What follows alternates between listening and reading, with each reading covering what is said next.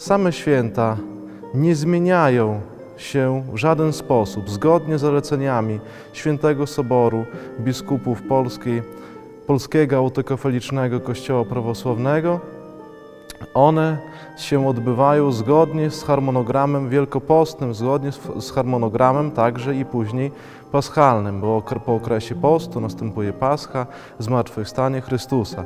A więc sam wygląd, jeśli chodzi o ryt nabożeństw, modlitwę w cerkwi, pozostaje bez zmian.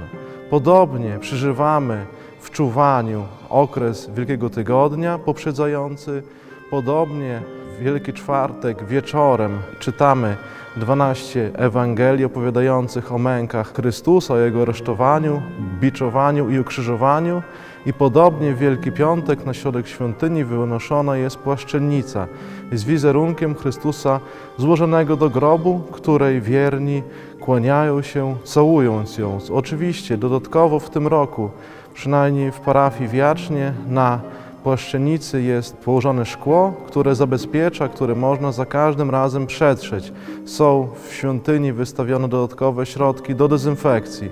Każdy wierny także może przez cały piątek, całą sobotę, bo przez ten okres Wielkiego Piątku od wyniesienia płaszczenicy, poprzez świętą, błogosławioną sobotę, e, możemy pokłonić się płaszczenicy i przez ten cały okres świątynia jest otwarta i w dowolnej godzinie, zachowując środki zalecane przez Państwo, możemy pokłonić się świętej płaszczenicy, wizerunkowi Chrystusa złożonego w grobie.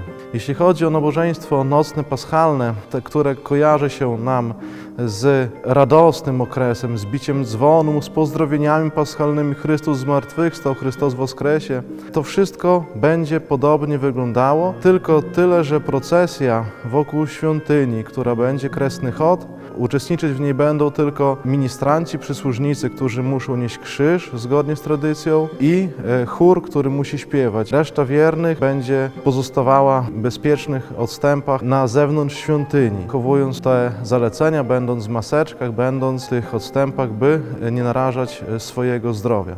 W naszej parafii e, święcimy pokarmy tradycyjnie. Wierni przynoszą pojedynczo e, koszyczki z pokarmami we wsiach przy krzyżu i jedna osoba zostaje przy krzyżu, pilnuje tych koszyczków. Ja o umówionej godzinie przyjeżdżam, święcę te pokarmy i pojedynczo wierni te koszyczki odbierają, roznoszą do domu, by uniknąć jakiegokolwiek kontaktu. Zostaje tak naprawdę tylko jedna osoba oprócz mnie, która pomaga mi e, w modlitwie, swoim śpiewem. E, Pilnuje tego, żeby przy krzyżu, gdzie, spotyka, gdzie, gdzie przynoszone są pokarmy, wiatr nie zwiał, e, tak, żeby, żeby te pokarmy stały bezpiecznie. I później, gdy zakończy się modlitwa, em, informujemy wiernych i każdy pojedynczo przychodzi i te koszyczki zabiera. Natomiast jeśli chodzi o świątynię, to tak samo e, przez cały dzień, jeśli ktoś ma możliwość, pojedynczo przynosi do świątyni koszyczek, święcimy go, kłania się świętej płaszczynicy, wizerunkowi Chrystusa złożonego w grobie i wychodzi wchodzi następna osoba. Oczywiście, tak jak mówiłem, dodatkowo przy wejściu, przy płaszczynicy są dostępne środki do dezynfekcji.